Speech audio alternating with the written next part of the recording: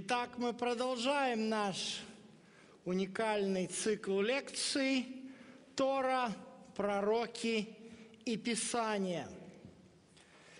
И наша следующая недельная глава называется «Вайра» и «Явился». Эта глава охватывает несколько драматических эпизодов в жизни Авраама. С одной стороны, мы видим, что у Авраама начинается хорошая полоса. Рождается его наследник Исаак. Определенным образом это все происходит чудесным.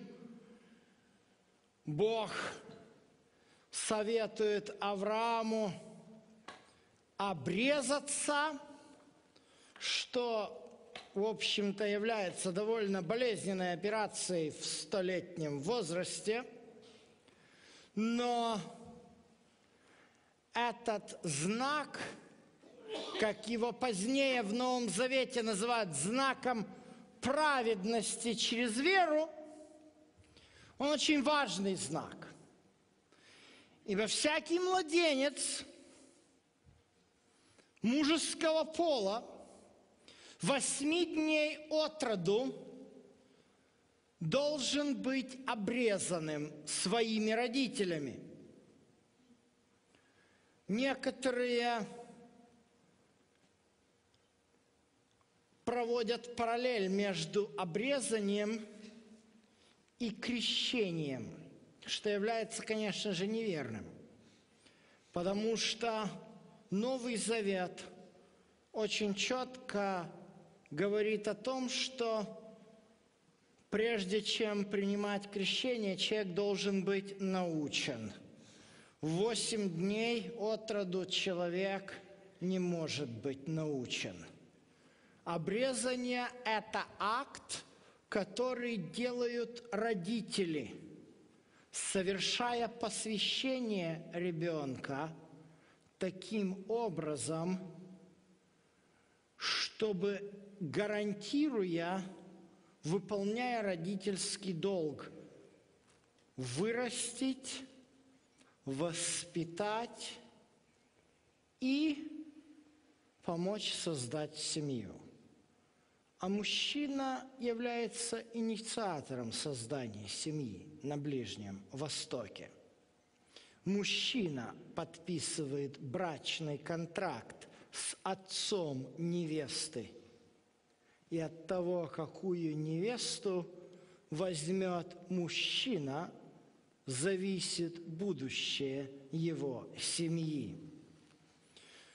Брак и тема создания правильной семьи является очень важной темой книги «Бытие»,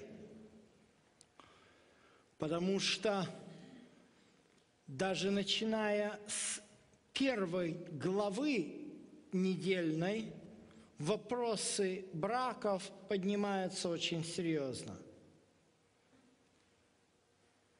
От браков потомков Сифа с дочерями Каином рождаются нефилимы, падшие люди, что является причиной потопа, который навел Господь на землю. От браков, которые совершают сыновья детей Божьих, зависит будущее Божьей семьи. Останутся ли дети Божьи с Богом или уйдут иной дорогой? Вот что символизировал обряд обрезания. И в результате этого обрезания, после этого обрезания рождается Исаак. И после этого Бог является Аврааму снова. Ваера. И явился Господь Авраама у Дубравы Мамре. Мамре, кстати говоря, это не название Дубравы, это имя Ам Амариянина, который проживал в, Хана... в Ханаане и предоставил часть своих угодий для того, чтобы Авраам мог там проживать. Это, кстати, говорит о том, что Авраам выполнял возложенную Богом миссию на него – распространение света Божьей истины среди народов. Авраам был в свет и в благословение другим народам, и Бог выполнял обещание о том, что благословляющие Авраама будут благословлены. Бог явился Аврааму у Дубравы Мамре – и в результате этого явления рождается сын Авраама. Но проблемы не исчезают. С рождением Исаака начинается трение в семье Авраама. Недаром Бог предупреждает и не желает – чтобы человек имел более чем одну жену. Борьба между Сарой и Агарью приобретает весьма уродливый оттенок. И Измаил, конечно же, не хочет становиться вторым – Именно поэтому дважды происходит изгнание Агари. Агарь сначала Сара изгоняет, когда та еще беременна, но Бог возвращает Агарь. Но когда напряжение между Агарью и Сарой уже, когда родился Исаак, достигают своего пика, Бог вынужден позволить Аврааму отпустить Агарь. Перед Авраамом много проблем. У Авраама не только проблема с его двумя женами де-факто, у Авраама проблема с его племянником, который проживает в Содоме и Гаморе, вопль от которых доносится до небес, и Бог решает что-то делать. Поэтому Бог спускается, чтобы посмотреть,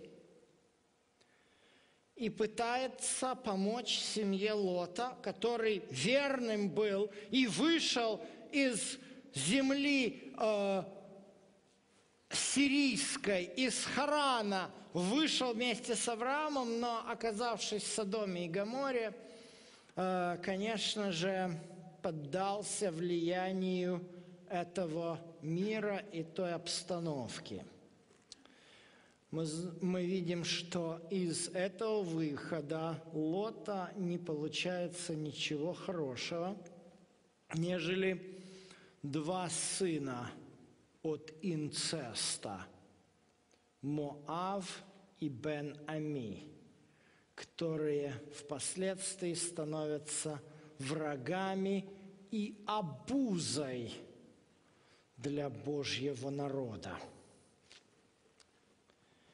И все это накапливается снежным комом накапливается, накапливается, накапливается.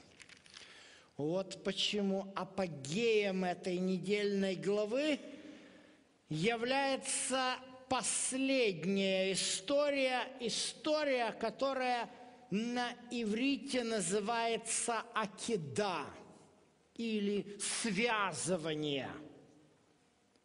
Эта история начинается словами «после сих происшествий», записанными в 22 главе и первом стихе. Вот эти происшествия, которые я только что вам описал, и были теми событиями, которые привели к напряжению в взаимоотношениях между Богом и Авраамом. Напряжение, вызванное тем, что Авраам, с одной стороны, пожинает последствия своих поступков, с другой стороны, делает новые ошибки. Да, Измаил является наследником, и даже по законам Ближнего Востока он должен получить одну треть от наследства. Даже если бы он получил одну десятую, он бы, наверное, не жил бы бедно, ибо, согласно утверждению известного археолога Вильяма Фоксвелла Олбрайта, наследие, э, состояние Авраама составляло немногим около 10 миллиардов долларов. Я думаю, что если бы Измаил получил бы миллиард, хватило бы ему и его потомкам. Но Измаил уходит, вернее, Агарь уходит с Измаилом, имея всего лишь графин с водой и кусочек хлеба. Вот почему Бог вступается здесь и ставит перед Авраамом конкретные условия. Доселе дойдешь, а далее не перейдешь. Сделай свой выбор. Возьми сына твоего, единственного твоего, Исаака, которого ты любишь, и принеси его во всесожжение на одной из гор, о которой я скажу тебе. Нелегкое поручение. Что такое всесожжение, Авраам прекрасно понимал. И ни один из живущих не проходил через такое – Аврааму нужно было принести Исаака во всесожжение так, как приносят агнца, заколов сначала его, разрезав ему э, сонную артерию, таким образом дать спустить крови, потом снять с него кожу, расчленить его тело – вымыть его внутренности, а потом дождаться, пока все это уйдет в дым. Непростая задачка. Причем Бог в оригинале говорит, возьми, пожалуйста. Ничего себе, пожалуйста. Но, пожалуйста, как раз и является ключевым текстом здесь ибо подразумевает выбор. Авраам мог и не делать этого. А Бог может тоже не повелевать Аврааму об этом.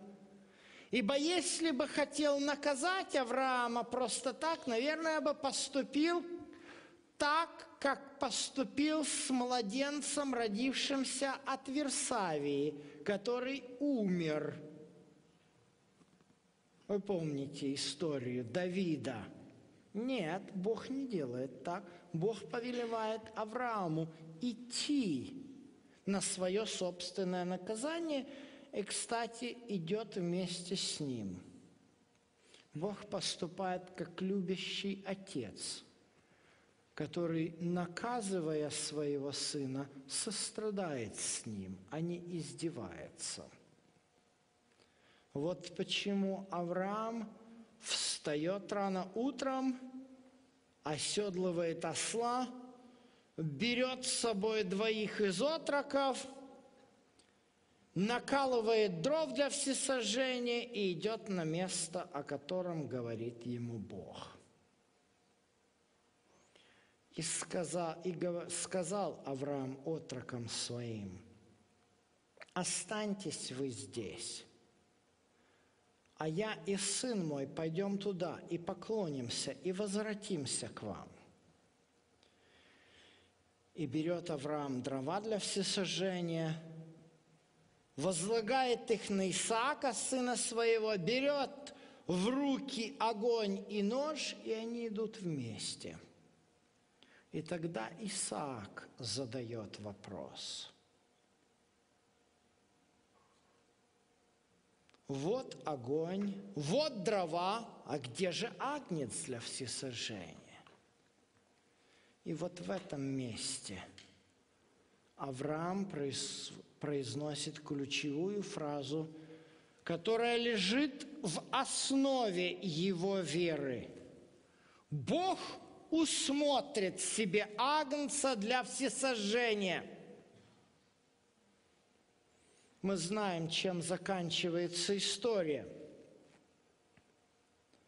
Когда Авраам связывает Исаака, возлагая его на жертвенник, заносит нож, и ангел Господень взывает к нему с неба и говорит, Авраам, Авраам, и он говорит, вот я.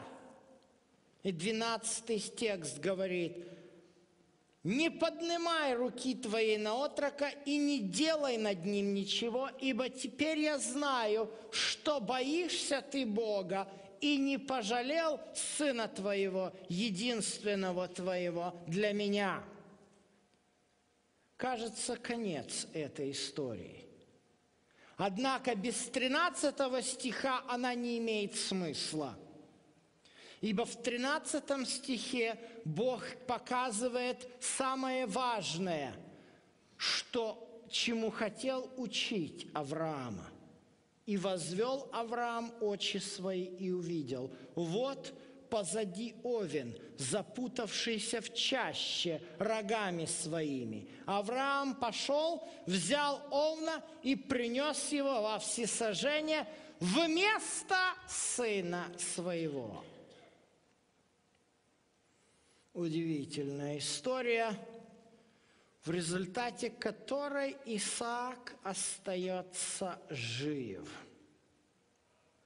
Эта история имеет параллель в той гафтаре, которую предлагают мудрецы, которая записана нам в книге «Четвертое царство», четвертая глава, где история о женщине-санамитянке, которая долгие годы не имела сына.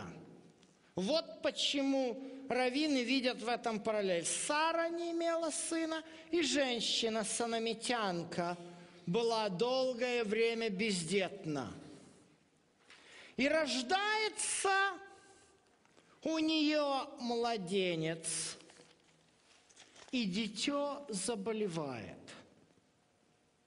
Заболевает уже, кстати говоря, в довольно отроческом возрасте – самое тяжелое – это потерять сына-подростка, которого уже воспитал, которого знаешь, а ребенок был послушным, пошел к отцу на э, поле принести кушать, говорит, проблема, и умирает.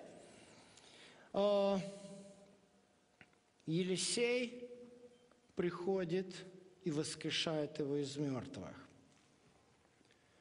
Здесь параллели расходятся. С одной стороны, Елисей – это уникальный пророк. Пророк-чудотворец, который совершает много чудес. Настолько чудотворец, что даже после его смерти, когда в его могилу помещают убитого на войне, он воскрешает, он воскресает. Но вот здесь-то эти параллели и расходятся, потому что в истории Авраама Бог учит чему-то другому. Исаак вообще не умирает. Несмотря на то, что э, послание к евреям, 11 глава, 17 и 18 текст, говорит об уверенности Авраама в том, что э, Авраам, в общем-то, знал и понимал, что Бог воскресит его. Тем не менее, как написано здесь, «Ибо думал в 19 стихе 11 главы послания к евреям, что Бог силен и из мертвых воскресить, потому и получил его в предзнаменование. Здесь события разворачиваются немножечко по-другому. Исаак не умирает. Авраам не проходит через этот опыт, например, который проходит эта женщина-санамитянка, когда она теряет своего младенца с одной стороны, сына с одной стороны, и Елисей воскрешает его. Авраам опыт уникален тем, что Бог впервые во всей Библии раскрывает суть заместительной жертвы. Вместо Исаака – умирает агнец. Исаак должен был умереть как наказание Аврааму определенным образом, как знак разрыва завета. Все то, ради чего Авраам жил целых 25 лет, ожидая, что Бог исполнит обетование и размножит его, как э, звезды небесные, как песок на море – Авраам понимал, что в Исааке это все исполнится, а теперь все. Исаак должен умереть. Будущего нет. Аврааму уже за 120. Снова ли забеременеет Сара чудесным образом? Да и Измаила рядом нет. Бог решает проблему однозначно – Вместо Исаака умирает агнец. Завет, который должен был быть разорван, восстанавливается вновь через смерть Агнца, который принесен – в жертву вместо Исаака. История удивительна тем, что именно эта глава регулярно читалась в храме каждому приносящему жертву, прежде чем грешник, принесший жертву, возносил нож и закалывал эту жертву. Всякий, приносящий жертву в храме, понимал, что эта жертва умирает вместо него. 1800 лет до истинной жертвы, принесенной на Голгофе, Авраам получает первый урок.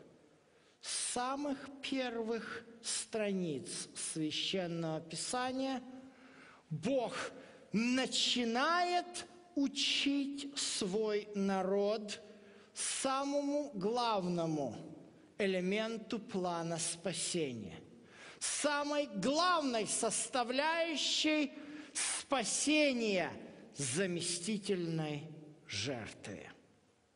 И это является центром данной недельной главы.